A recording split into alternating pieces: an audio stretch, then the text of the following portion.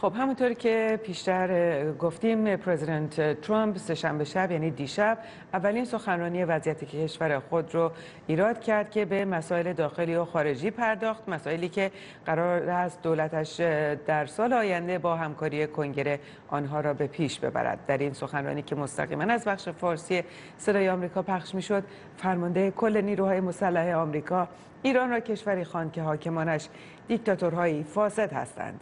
گزارش فرهاد پولادی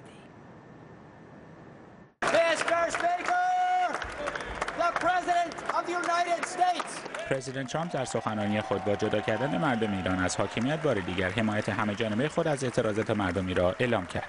او همچنین بار دیگر نارضایتی خود را از برجام توافق اتمی ایران با جامعه جهانی را بیان کرد.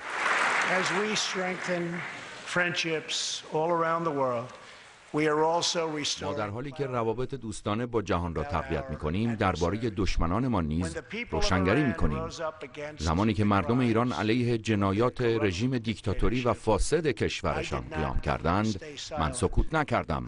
آمریکا در کنار مردم ایران و مبارزات دلیرانه آنها برای آزادی می ایستد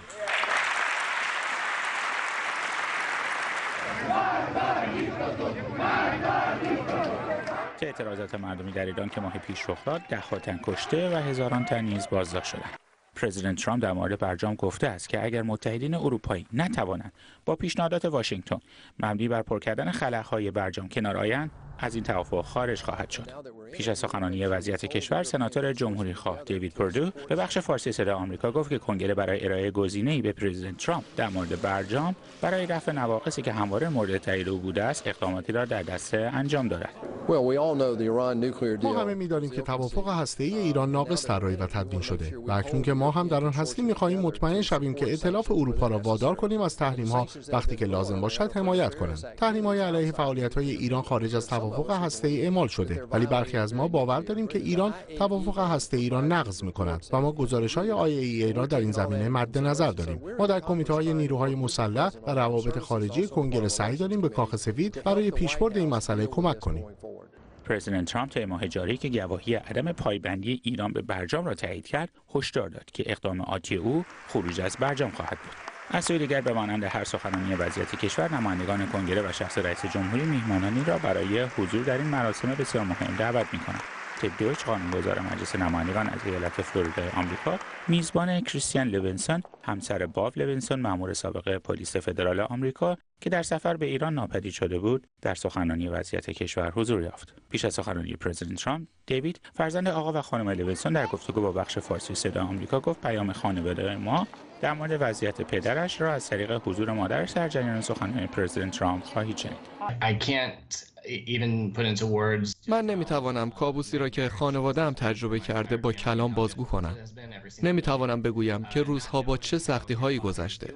وقتی نمی‌دانید که حال پدرتان چطور است، ندانید که او کجاست و چه بلایی به سرش آمده.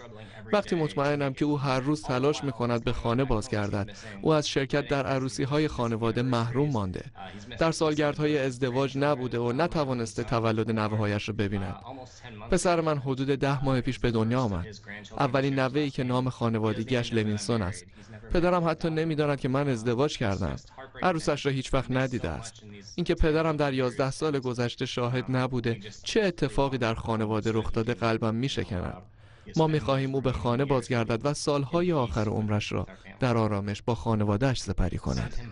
باب لوینسون نزدیک به 11 سال پیش در سفر به جزیره کیش ایران ناپدید شد. طی سال 2018 کنگره با اکثریت جمهوری خواه تلاش خواهد کرد که برنامه های پرزیدنت ترامپ در مورد مقابله با نقض حقوق بشر در ایران و همچنین اقداماتی که واشنگتن به آنها برهم زننده در منطقه می‌داند. و اصلاح برجام های موثر بردارد فرهاد پولادی صدا